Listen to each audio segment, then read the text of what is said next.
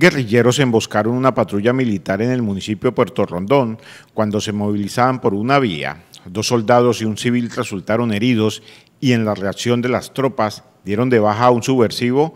A continuación presentamos el comunicado de prensa del Comando de la Fuerza Tarea Quirón, Unidad Orgánica la Octava División. Primero, que el día martes 18 de agosto del 2020, en horas de la tarde, soldados del Batallón de Operaciones Terrestres número 30, que se encontraban en un puesto de control en el eje vial que comunica los municipios de Puerto Rondón y Cravo Norte, en el departamento de Arauca, fueron atacados con armas largas por sujetos, al parecer integrantes del Grupo Armado Granizado Residual, estructura décima Martín Villa, que se movilizaba en una camioneta. En el hecho, un civil que pasaba por el lugar sufrió una herida menor en el talón izquierdo.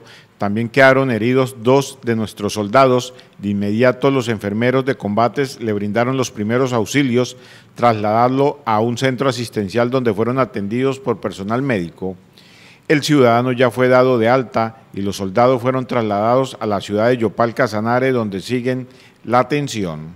Tercero, la rápida reacción de las tropas permitieron repelar el ataque en el que fue muerto en desarrollo de operaciones militares uno de los sujetos atacantes, quien portaba un fusil M4, tres proveedores, 60 cartuchos calibre 5.56 milímetros. El material de guerra quedó a disposición de las autoridades competentes. Cuarto, el ejército rechaza este acto que es una flagrante violación a los derechos humanos e infracción al derecho internacional humanitario e iniciar las acciones legales a que haya lugar.